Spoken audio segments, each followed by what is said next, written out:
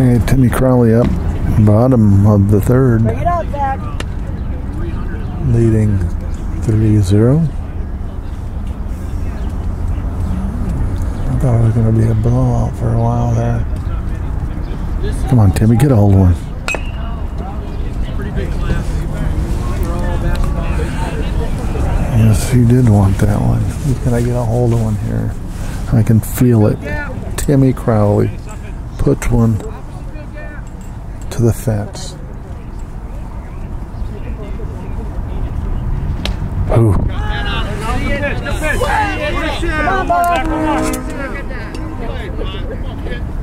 The sound of the freight train off into the distance down here on Lewis Street in Jackson, Michigan. Oh, and he gets hit.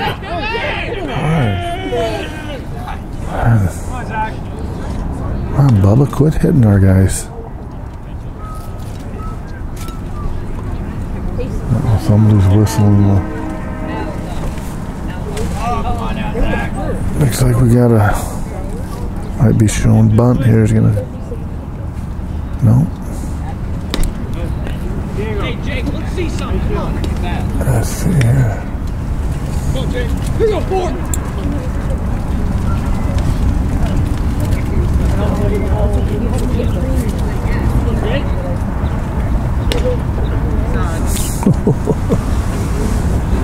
Jakey does that little lean back thing. It looks like he's gonna tip over.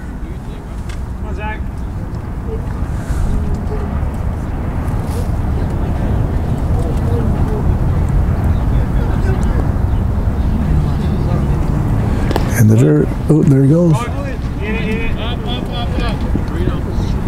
Good job, Timmy. Way to pay attention. Picture of the catcher bobbled it a little, just enough to get him down to second.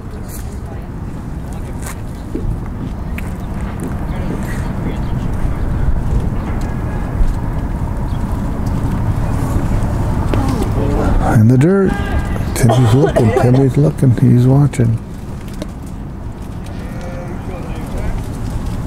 He's looking. Jakey. Uh-oh, we got time. Okay, so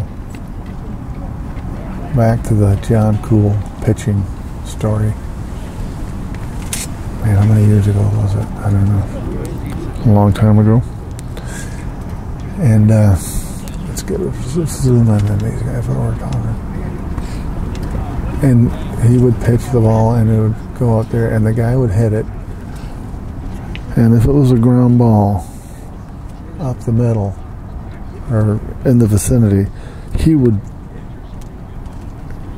sometimes get in the way. Just I don't know how he did it, but he would get in the way. He wouldn't field the ball. He wouldn't even bend over. He was I don't know what he was doing.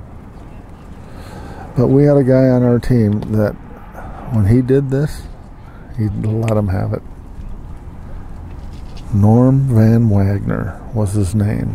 Norm was a great shortstop. And he would tell John Cool, my father in law, and he said it in such a way that I, I wish I could have filmed it and had had it play, but he would say, Hey, if you're not, he would say, if you're not going to field the ball, get out of the way. Don't get in my way and I can't make a play. uh, it was so funny. You had to be there, but it was, I know my father-in-law is probably laughing right now watching this, but everybody else who's listening to this stupid story is probably glad it's over with, but next time you see the oldest guy at the baseball games, it's probably John Cool. He wears his Notre Dame hat all the time.